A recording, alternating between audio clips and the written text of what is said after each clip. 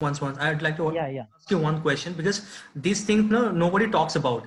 Uh, the thing is that bsc in pure sciences and bsc in forensic science do you think Hmm. uh, bsc in pure sciences get some uh, get a bit of preferences over a bsc forensic sciences? Yeah yeah yeah. They will get even i'm i'm the student of uh, life science. I have Yeah. done bsc yeah you said me you told you told me that yeah.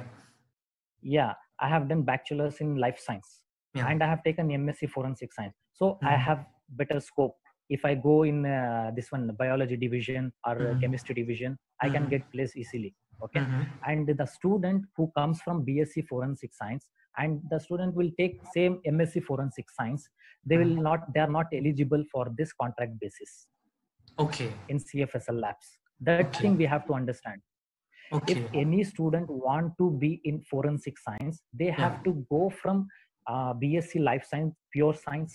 Yeah. They have to take these subjects and then they have to come for msc forensic science. Okay.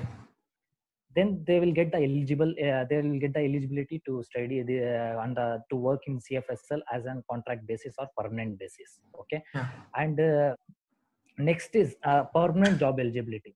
So Mhm. here we'll has uh, like each state has a fsl has its own standard procedure for recruitments depending upon the division uh, how they recruit.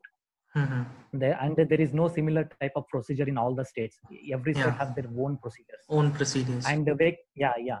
And the vacancy here come time to time at state level and central level